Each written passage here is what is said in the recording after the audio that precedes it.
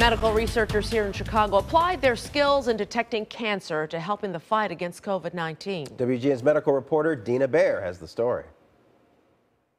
On the Medical Watch, a little spit goes a long way toward finding COVID 19. Cancer researchers at the University of Chicago switched gears in the pandemic, developing a virus test they say works better than a nasal swab test. And it's all thanks to the droplets. For 20 years, Yevgeny Izumchenko has worked as a cancer biologist in translational research. We're trying to understand how the premalignancy progresses to cancer. He does that by focusing on molecular signatures that predict cancer, and he finds them through liquid biopsies. You can use uh, body fluids to detect uh, mutations associated with the cancer. Some of the tumor cells, which are originated from the tumor, will be found, uh, can be found in the patient's bloodstream in the patient's blood and the saliva. The researchers not only detect cancer through blood and saliva samples, but in the case of head and neck cancers, they can find the virus that causes the cancer. We're using saliva to detect HPV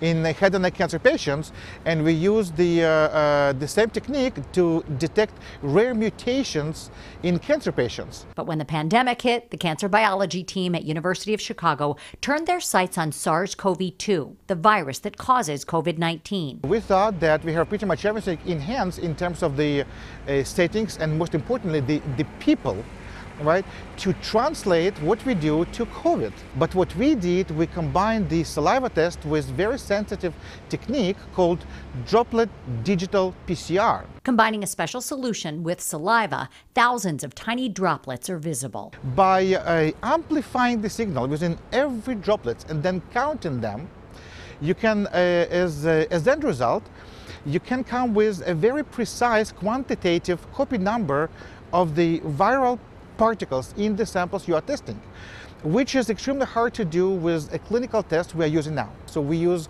a very specific solutions that, that we think on one hand decrease a virulence of the virus when you collect the samples. That reduces the risk to those reading the test and the samples are easier to collect for testing. I know it sounds funny, but everybody knows how to spit, right?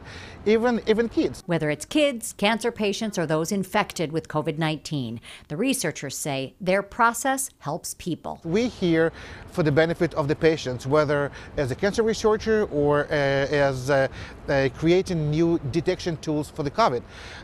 the, the end point is to find the ways to make life easier for the patients. There are similar tests being developed across the country, and with the ease of use, many universities, including University of Illinois, are hoping to test students before they return to class in the fall. Back to you.